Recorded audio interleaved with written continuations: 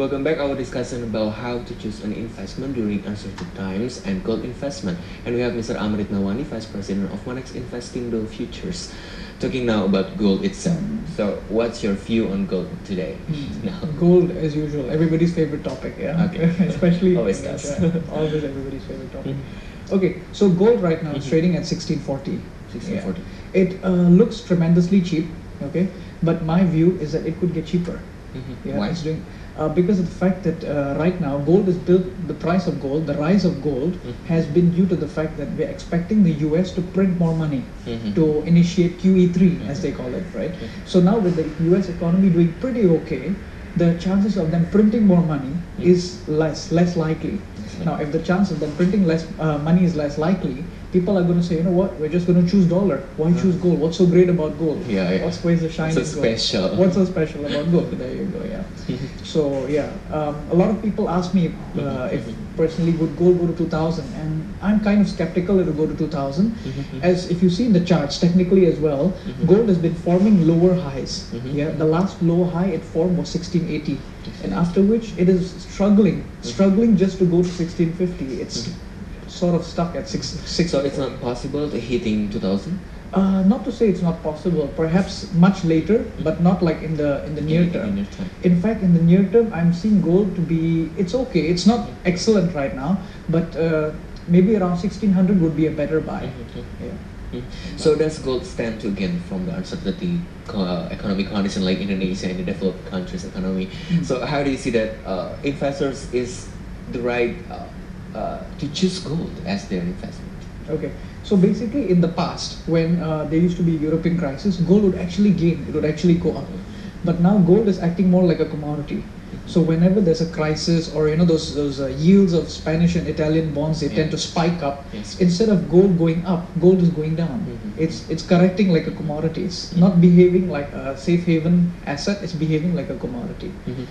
Talking about the India, that I read the article that Indonesia, uh, in India, uh, the demand of physical gold is uh, rising. Mm. So it's that one of the problem that that could uh, high the gold price. Actually, gold price uh, recently there have been some strikes in India, Mhm. as a matter of fact, which is why the gold, from the physical point of view, from physical demand, is not picking up. Mhm. But the strike has just gotten over. But uh, we're expecting the physical demand to really pick up around August. Mhm. Okay, so now obviously we don't want to be buying in August because all the big institutional investors have already bought. Uh-huh. So we would perhaps wait until uh, one month before August, perhaps June to July, when we see that uh, gold should continue its bullish run. Mhm. So so so June to July is the right timing to buy gold. Yeah, right now we, gold will not surge like how it did before. Uh-huh. It's still uh, it will it'll go up here and uh, up and down a little bit. I think 16, uh, 1550 to 1600 is a very good level to buy gold. Mhm. 1640 it's like it's right there in front of us, but nobody wants to touch it right now Mhm. temporarily. Yeah.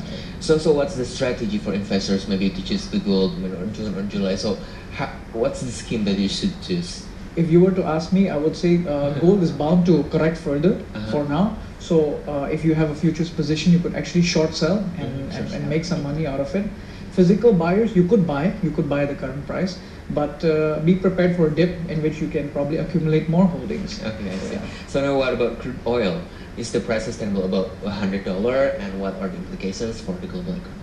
Okay, crude oil is currently trading at 103.75. It is not sustainable. It is basically gone up. It is artificially inflated due to the fact that uh, all these Iran problems are coming up. Yeah, yeah. And it's not sustainable above 100. It's very problematic, as we saw in Indonesia as well. Yeah. We saw a whole ruckus about the price of fuel, Mhm. which is because crude oil basically was 100, 110 at its highest, very high.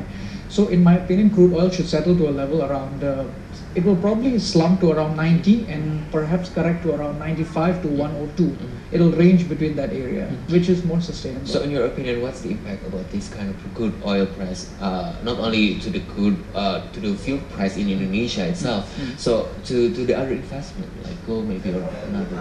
Okay, so crude oil and uh, gold they actually move in the same direction. Okay. Okay, so if there's a problem in the economy, because both are commodities, right? Mhm. Crude oil is a commodity, gold is a commodity. Both are going to fall. Mhm. When there's a good, uh, when there's good news from the economy, the stock markets go up, Mhm. uh, that means the commodities go up, Yeah. and crude oil and gold, both being commodities, will rise up as well. Mhm. Now talking about dollar, maybe how what's your view on US dollar and rupiah versus rupiah?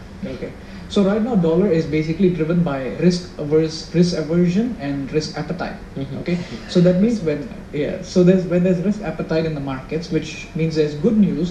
Everybody throws away the dollar. Yeah. Nobody's interested in the dollar anymore. Everybody goes into the more exciting. Uh, assets, which are basically stocks, commodities, and rupiah. Rupiah is always exciting because it's Really? an emerging, emerging currency, emerging Okay, market so, so, currency. so what are the factors influencing it? I mean, what's the main factors that uh, people not only not now not view the dollar as a good currency? Hmm. I think it's mainly because of the news coming out of the US, and so far the news has been pretty good. Mhm. So hence we're seeing the dollar um, strengthen as well as a result of that. Mhm. So so how about the euro itself? Like still sustaining about 1.3 level now? Hmm. Okay, the euro, in my opinion, in some time it should go below 1.25 area. It is not sustainable at 1.3. So of course everybody is wondering, okay, we're talking about euro crisis. The Yeah. euro still above 1.3. Uh, so it's, it's still fine. It's fine. odd, right? Okay. People are wondering why is it above 1.3. The reason why is because it's strongly newsly driven and very very volatile, Mhm. very up and down. And the news some, sometimes we see good news, euro surges. Sometimes we see bad news, euro goes down. It's very news driven Mhm. and very much driven by those yields, those Mhm. uh, Italian and Spanish yes. So you see the, the, the yields of uh, Spanish and Italian bonds. How do you see this? I mean, the impact of that uh, Hmm. bonds yields. The bond yields basically we don't know where they're going to go, Mhm. but whenever they spike, then that's a bad thing for the eurozone. Oh. And that means we're going to see a slump in Mhm. stocks, we're going to see a slump in commodities, and a slump in the euro as well. so any prediction on euro crisis? Euro crisis, in my opinion, is Yeah. far from solved. It is uh, quite dangerous, in my opinion. I don't mean to strike panic into anyone, but it's it is not been contained yet. Everybody says, yeah, it's been solved, it's been solved. It's not been solved, and there's a risk of it uh, spreading to Spain, Oh. which is a very large economy actually. Mhm. So now we move to Australia. Okay. So Australian dollar has been the, the favorite for local investors, international investors, but Yeah. in the last few- three months they they underperform. Yeah. So how do you see this? Okay, the Australian dollar has underperformed basically because of the rate hike. They ex- uh, they were expecting a rate hike, but in fact they cut the rates. So now that makes Aussie less favorable, right? Everybody in Mhm. Indonesia they want to look for the highest yield, Mhm. and internationally as well. Everybody was like wants to be like which bank gives me the highest yield. Yeah. Now international investors have the same mentality. Uh-huh. Which currency gives me the highest yield? Mhm. The moment uh, central bank cuts the interest rate, then they're like, oh, okay, so this country, this currency is not so appealing, not so attractive anymore. So attractive. yeah. So the Aussie used to be 4.75% a year, mhm. the highest among the G10. Mhm. Now the Aussie, the interest rate is merely 4%. Four percent. Yeah, four So so what's your prediction for Australian dollar for a few months next? Okay. Actually, uh, there's very important news coming out tomorrow the inflation figures. Now, if the, if the inflation figures are good, the Aussie dollar will go back to its upward trajectory.